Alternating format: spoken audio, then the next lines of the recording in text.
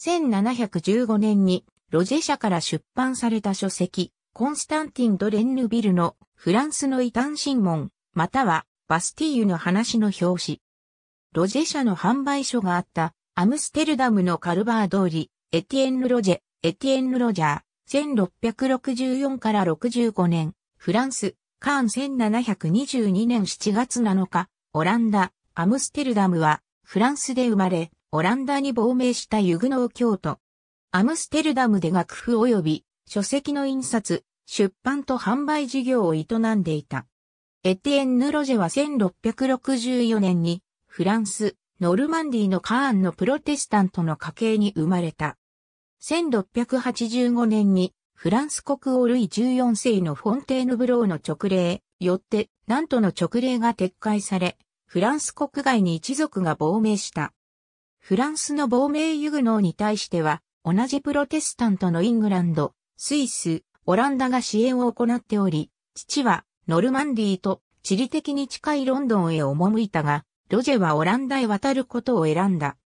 ロジェがオランダへ向かったのは、外国人への参入障壁が高かったロンドンと異なり、オランダは亡命者、ポーランドのソッツィーニ派などに対し、自国民と同等の権利を与えていたため、新規事業の立ち上げが容易であったことが理由と考えられる。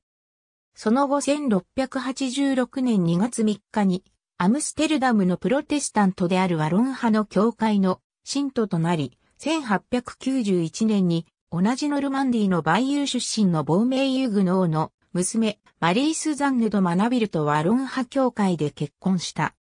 1691年に音楽家で1685年から出版業を営んでいたアントワーヌ・ポワンテルの下で1694年まで見習いとして勤める。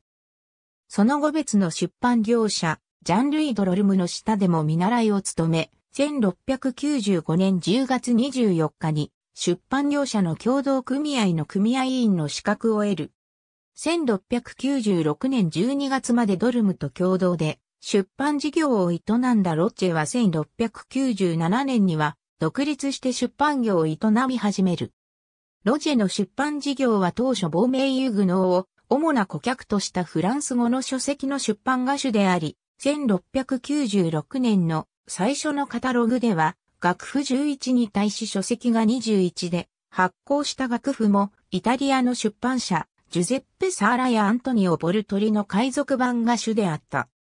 しかし、オランダの印刷技術は、イタリアの移動タイプ式に対して、誤色のリスクが低く再販の容易な、ホリ版印刷であり、亡命ユグノーの書籍販売ネットワークによって、北、ドイツからイングランド、イタリアにまで渡る広範な販売経路を保持していた。またロジェは各国に代理人を抱え、オランダやイギリスの新聞に積極的に広告を掲載して宣伝に努めた。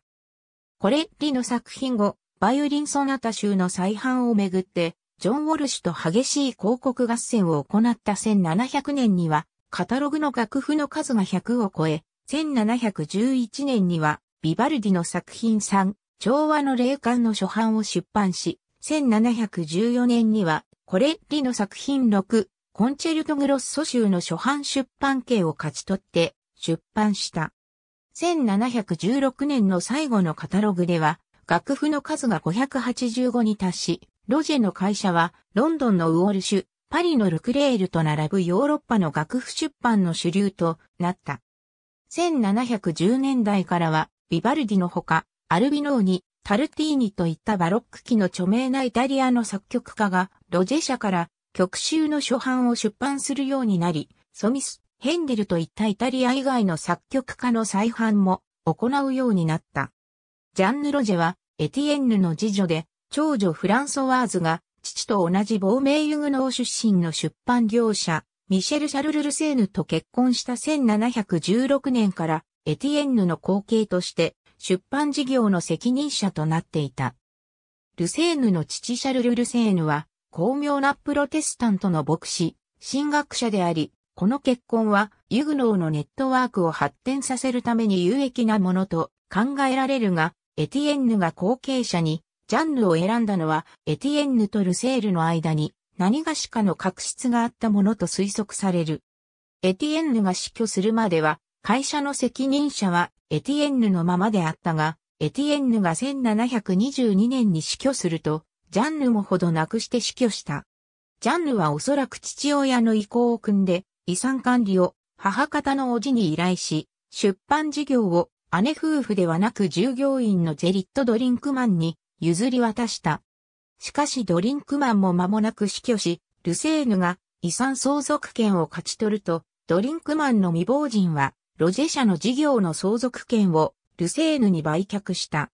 1723年にはフランソワーズもこの世を去り、ロジェ社の事業はすべてルセーヌのものとなった。ありがとうございます。